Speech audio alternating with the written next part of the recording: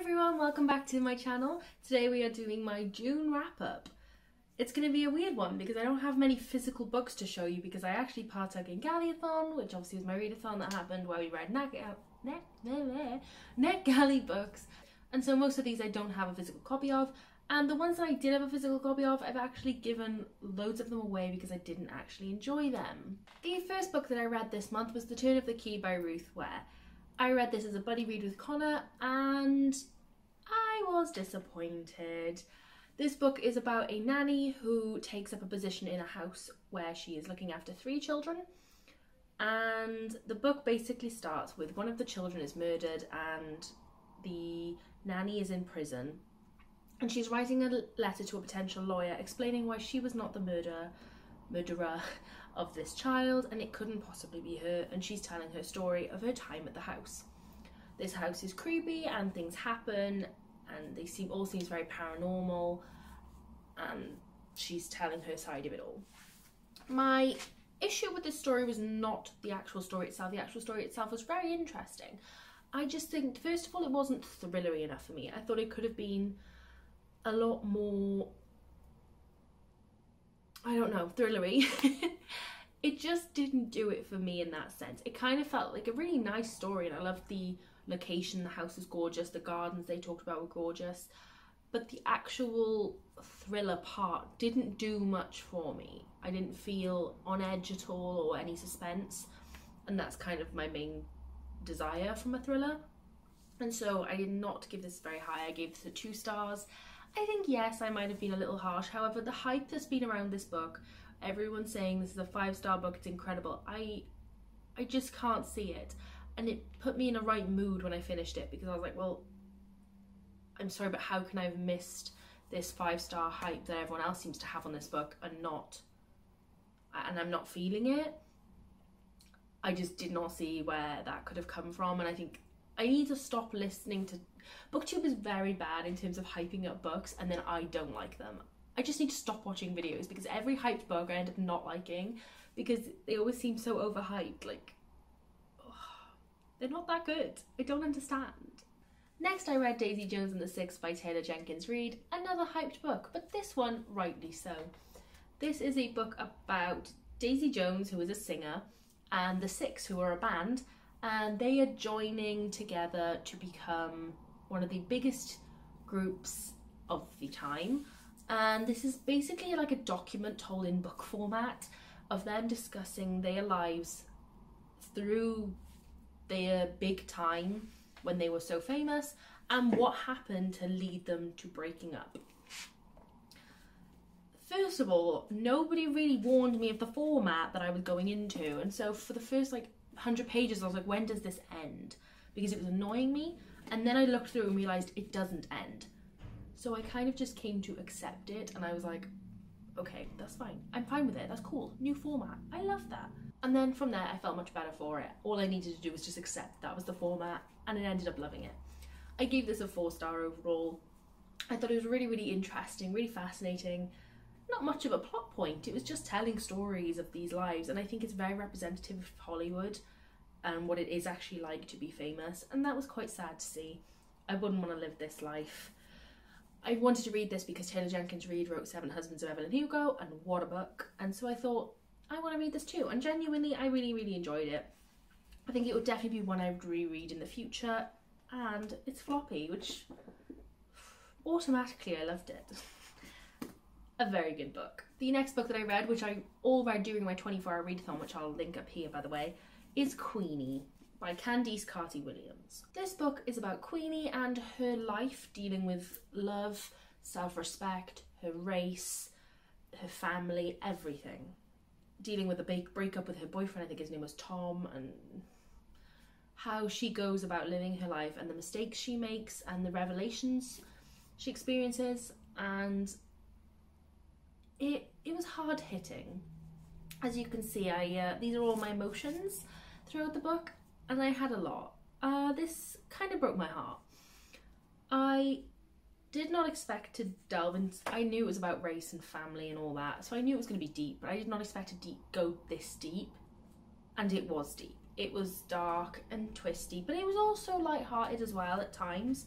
and I really, really did enjoy it. I think this book was very, very essential.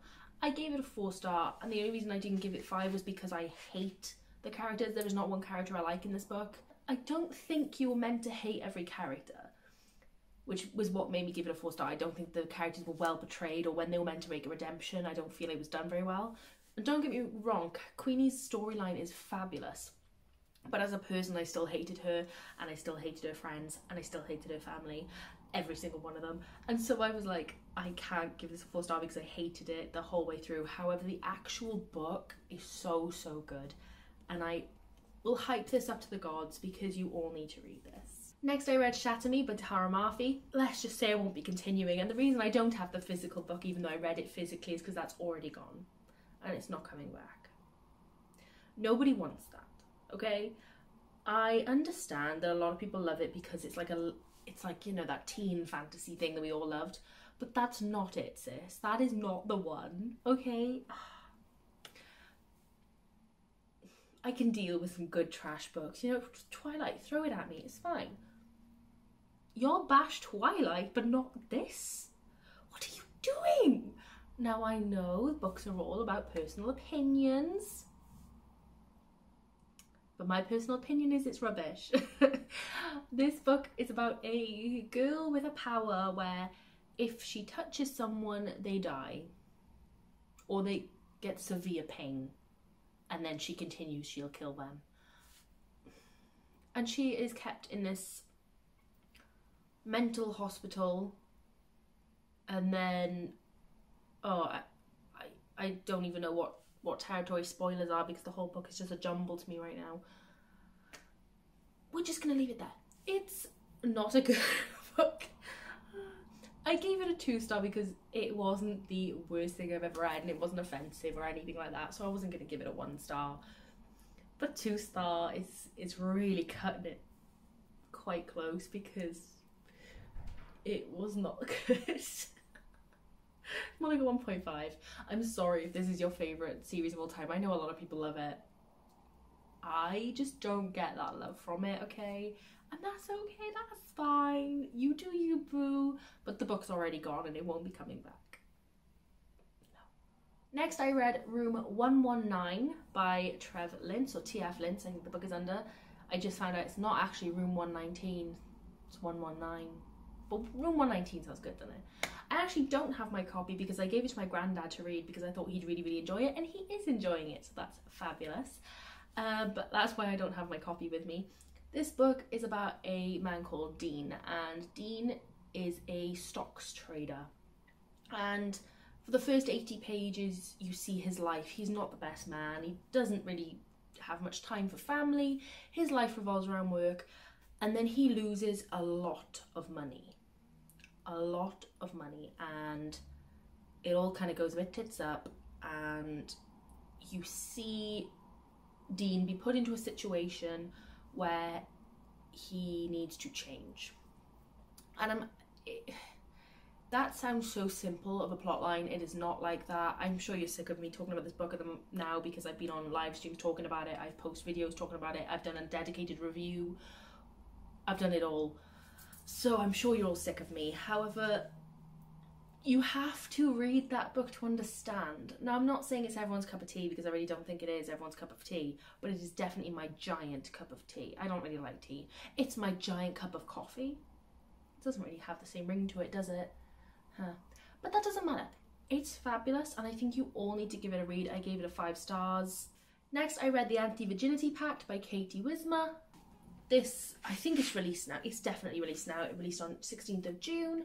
Katie Wismar is a YouTuber, for all of you who don't know, so gotta support YouTubers' books, booktubers' books, go and support them. This book is about a girl who she's got these typical 16 year old issues and she and her friend sign a pact to lose their virginities by the end of the school year or by the time they graduate or something. And this gets blown around the school people find out about it, her life's kind of ruined. I don't want to say too much about it, it's not really focused on that at all. I know the book is called that, but it's not really that. It's not the main focus at all. The main focus is her life and teenage struggles. The first half of the book was a bit hit or miss. I wasn't going to DNF it, but I wasn't happy with it, and I was like, this is not the best. Second half was incredible, five star worthy. I thoroughly enjoyed it. So overall, I gave it a four star. I thought it was a really, really good book. I've seen a lot of harsh criticisms on it, and I didn't think they were justified. I thought it was a really, really good book, and I enjoyed it personally. And I'll be getting myself a final copy. Next, I read Cinderella is Dead by Kalynn Bayron. I know this is super hyped. Once again, me and hyped books just don't get on. And the concept to me was incredible. You know, it's 200 years later after Cinderella is, has died, and within the city or the town, they are honouring Cinderella by going to a ball, and the women of the ball have to be chosen by a man to not die, essentially, or be sent to the barrows or something. And one year, our protagonist, whose name I can't remember, that's really good, isn't it? That just shows how much I like that book. She is like, I'm gonna overthrow the monarchy. And I'm like, yes, sis. She uh, has a girlfriend, and her and her girlfriend obviously can't be together because that is against the rules in this cut in this city, city, town, city. Mm. And she doesn't want to get married, and her girlfriend's like, "Well, I'm getting married because I don't want to die, so that's on you, sis." And so she goes on her own, and she's like, "I'm gonna do it." And the concept was incredible. However, the first half of the book is so boring and long and it's it's a journey so I could understand but it, it was long and I was bored. And then we got to the second half and you know it picked up just a little but I was like come on I need some action. And then finally we had the action scene right at the end and it was over. There was no rest there was no like struggle. There was nothing happening. It was just whoop, resolution. And I was like hang on wait what? And I, I'm not kidding when I say I skipped back. I think it was 30 pages trying to check what I'd missed because I I was like, I've missed something. I've, I've skipped some pages. I'm on my Kindle, easily done. No, I hadn't missed anything. It was just resolved that quickly.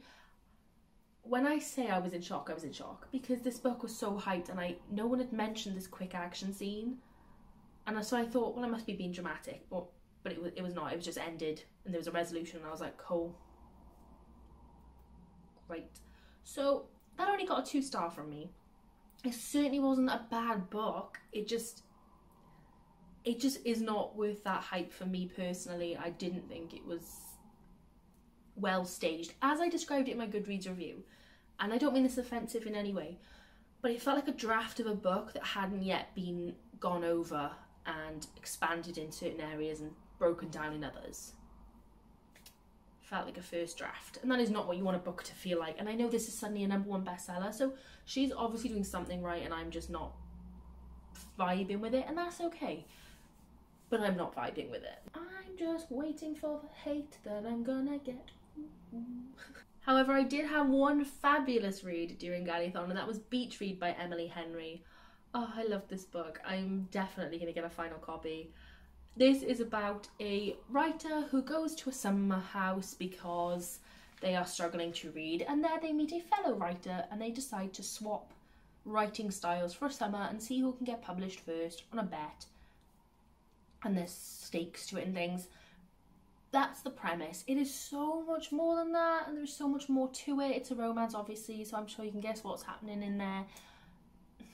It was so nice. Oh, they were so, so cute together and I just want to reread it already. I'm really, really glad I read that book and I hope you all read it too because that was so, so sweet. Aw, I don't have much to say. Five star. Fabulous. Then I read When Life Gives You Mangoes by Kereen Getten. This was a middle grade that I accept that I like requested really last minute because I saw Books with Claire talking about it and she said how good it was. So I was like, I'll give that little request the I didn't read the summary. This was so deep and good. It follows the adventures. It's, it's like a town in England, but to me, I imagined it somewhere really different. It did not. I don't know about anyone else that read this, but is it when's it based and where is it based? Because they talk about going to London or something, but it sound the place they describe like rainforest and stuff. I think I'm confused. But the actual book, I'm not going to tell you anything about it because I think you need to go in blind.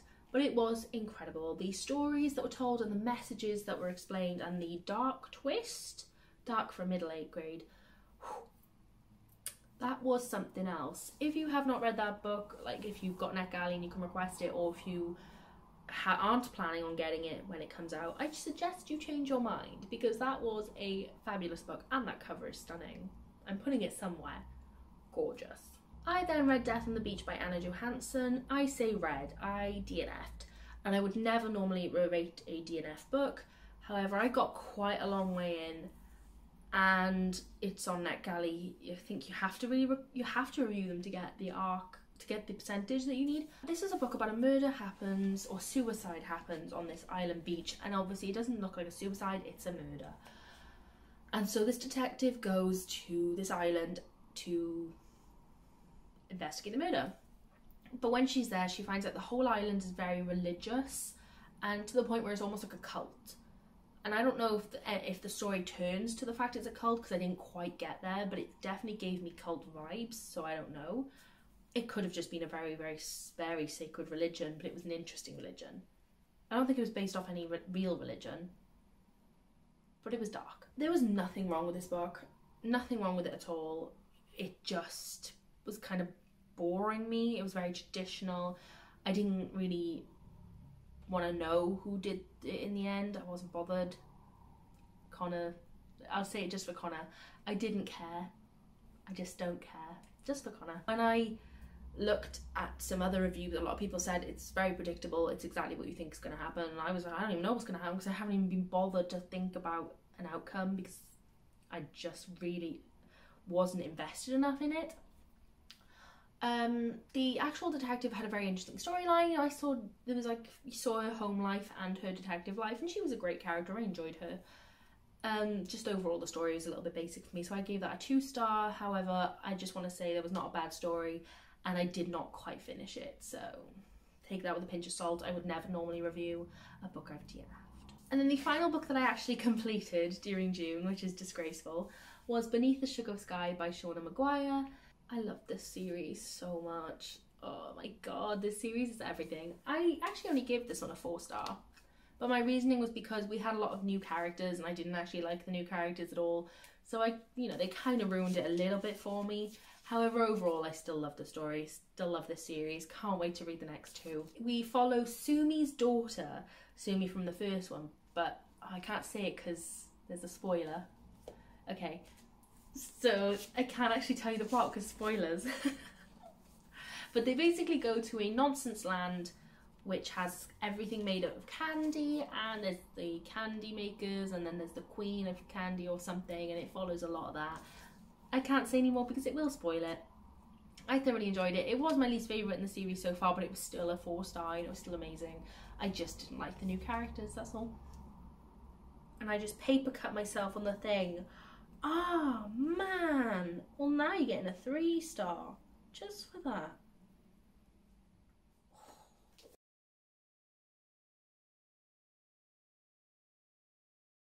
I DNF two other books this month. I DNF The Last The Last Day by Andrew Hunter Murray, and this was something I was really excited for. It is a dystopian about where the world stops turning. Half of the earth is stuck in frozen time, so it's freezer, no, stuck in ice. It's like frozen, they're in the dark. The other side is stuck in burning sun, it's boiling hot.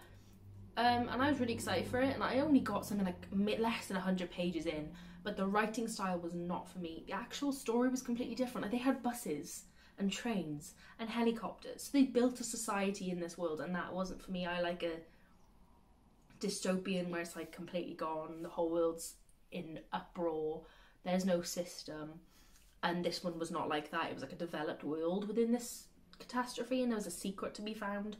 Wasn't for me, so I just decided to DNF that. I also decided to DNF The Seven Husbands of Evelyn Hugo. That is absolutely not what I decided to DNF. The Seven Deaths of Evelyn Hardcastle by Stuart Turton. Uh, I decided to DNF this because I think I was something ridiculous, like 30 pages in and I could not have been more bored or hated a book more. And I was I was struggling anyway, and I was like, I don't really want to read this. Eh. So I put it on Twitter and I was like, do I just DNF it? And everyone was like, oh my god, yes, save yourself the time and effort, girl, because you won't like it. And it's fat phobic and all this stuff. So I was like, cool, bye. It's already gone. I've passed it on. So we did have quite a few DNFs. But more than DNFs, we also had books that I started and never quite finished. So first of all, we have City of Ashes, and I'm actually listening to the audiobook, not the physical, so I have no idea where I am, but I think I think about 100 pages. I started this the first day of June, and so the fact that I haven't even progressed since the first day is disgraceful.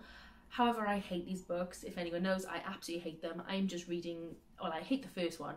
I'm just reading it to get to the newer um, Shadowhunter books that are apparently good. And so I'm really trying my best to get through these. They are really, in my opinion, terrible with terrible characters that I really hate. And so I haven't got any further through that. I will try my best. It's continuing this month. I also was supposed to read The Family Upstairs by Lisa Jewell for this little booktuber group we have where we just read a book every month. This month we're reading My Dark Vanessa. Last month we were supposed to read The Family Upstairs. I got to page 57. I really wanted it and then I saw some reviews and I, I had it off Connor ages and ages ago for my birthday I think and that was in April and I saw then saw some reviews on it and people saying this is not what it was advertised as. And what I thought it was was what the description says where there's a girl in the attic or a girl in the nursery who's well looked after. She her nappy's been changed and everything and then all the family have been murdered so who's looking after the baby? But no it's actually about that girl 25 years later inheriting the house and I'm sure this mystery comes into it somehow, but that's not what I wanted. I wanted the thriller of a detective finding out who'd been looking after the baby for that long. And so I was really miffed to find out that wasn't the case. So I was demotivated going into it. So I have only got to chapter nine, and I've obviously people were discussing the book today, and I was like, just don't look, don't don't look. I'm sorry. I don't think I outrightly told them I haven't read it. I've just pretended I don't exist. Sorry, guys. Sorry. um, but I'm gonna try and continue this month. But this is one of those ones that I haven't decided if I'm actually gonna continue reading or if I'm gonna put it down, pick it up in the future. I'm also in the middle of Black Girl Unlimited, which I am listening to on audio. I started this just before Galleyathon started and I didn't have time to finish it. I have like three hours left on the audiobook, I think, and I listen to it on three times speed, it'll take an hour. I just haven't quite sat down and done that yet. Um, really enjoying it so far. Really good story. I'm excited to see where that goes. I am 50 something percent into Echo by R.C. Glenn. This is a self-published book that the author um, contacted me about reading a month or two months maybe ago and I started reading it in June but I haven't finished it so it'll be in my July wrap up but I wanted to let everyone know that I am in the middle of reading that. It is very good so far, not what I expected, completely different, actually involves and oh I actually can't say that, is that spoiler? No. I mean, yeah. No? And the final one that I'm not really in the middle of, I've just started and it's sat there, is When I Was 10, which me and Connor meant to buddy read, and I'm pretty sure Connor is just finishing it right this second as I film, and I'm 10% in because I've been in a reading slump since Galleyathon and really struggled to read, hence being in the middle of so many books and not finishing them, just trying my best here. I really, really hope you enjoyed today's video. Uh, I hope you found some book recommendations or some things to avoid which is usually the case with my videos. I'm always like, just don't touch it. uh, if you did, please like and subscribe, and I will see you all in the next one. Bye.